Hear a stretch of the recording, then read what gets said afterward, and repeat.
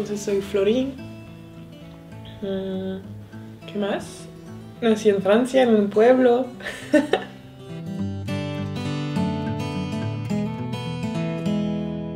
Me llamo Florí, soy filmmaker.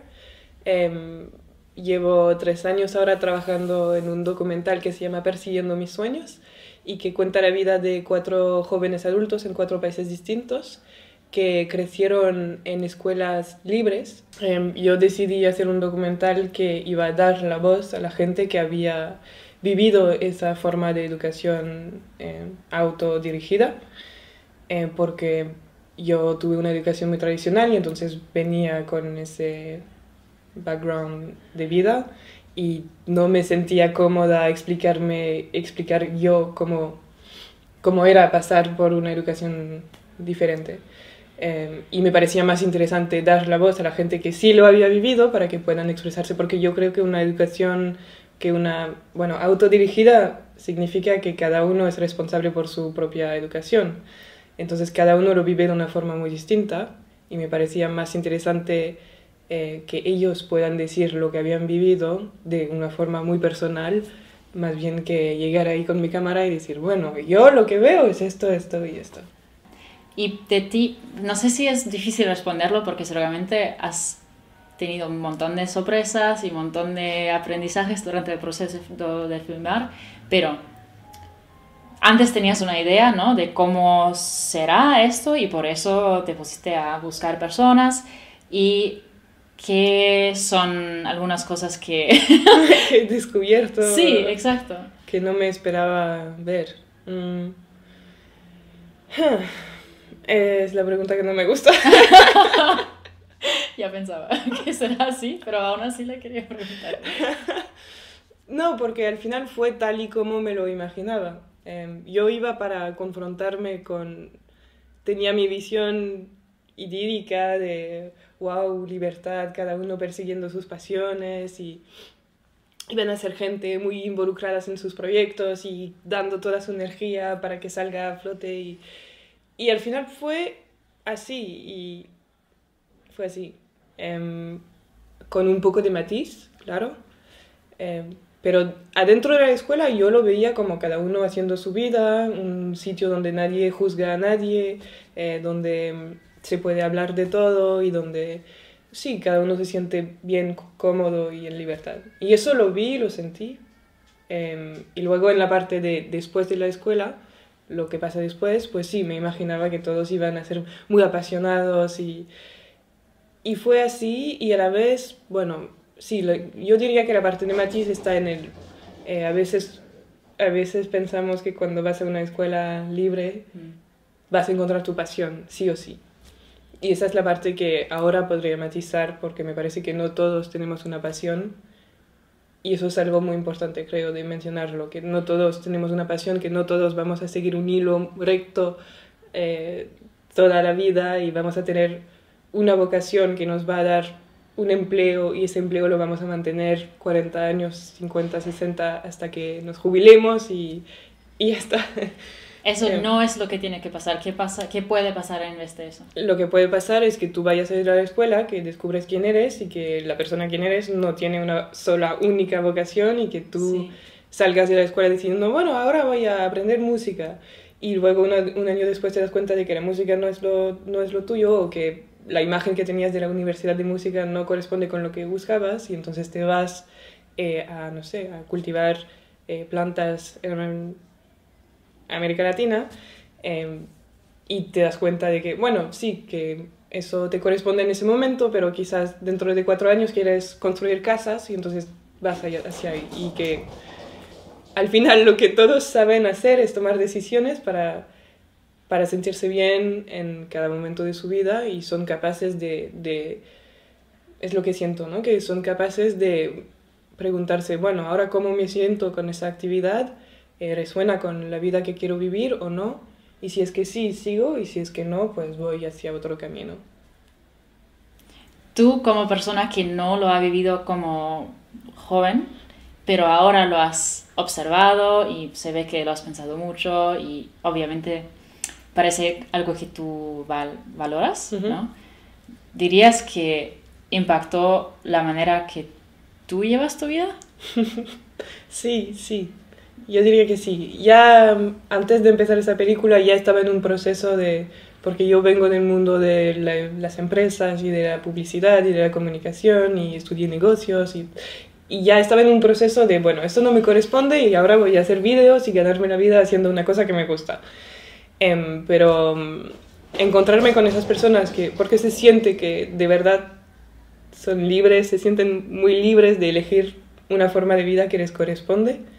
Y entonces yo venía ya en ese proceso de cambio, pero encontrándome con ellos y dándome cuenta de que, uff, hay muchas formas de vivir su vida, muchas formas de ganar dinero, muchas formas de, eh, sí, ser independiente y también libre de hacer lo que de verdad te gusta hacer, em, eso sí que me cambió mucho. Ahora siento que quiero probar vivir fuera de la ciudad, que es una cosa que nunca me planteé porque para mí era, bueno, ahora estoy en la edad de vivir en la ciudad porque todos, toda la gente de mi edad vive en ciudad. Em, y no sé si quiero experimentar más cosas que antes. Y voy a cerrar la puerta porque... Y entonces tú piensas que como para ti el proceso de observarlo ya fue suficientemente impactante para cambiar algo en tu vida. Tú piensas que personas que van a ver tu película, aunque no fueran a una escuela libre, pueden recibir un, un poquito. sí. sí, es la idea, es la idea. Entonces, ¿para quién es la película? ¿Qué dirías tú? Para todo el mundo. Eh, y bueno, más que nada, el mensaje de la película es que lo importante al final no es de ir a una educación autodirigida o de hacer, de ir a esta escuela precisa o seguir ese modelo de educación. El mensaje es que cada uno es muy diferente y que cada uno, siendo diferente, necesita una escuela diferente. Y que lo importante, en mi opinión, es poder elegir, tener la libertad de elegir una escuela que a ti te gusta, donde te sientes bien. Em, porque para mí no tiene sentido ir a la escuela si no quieres ir a la escuela, ni tampoco aprender algo si no lo quieres aprender.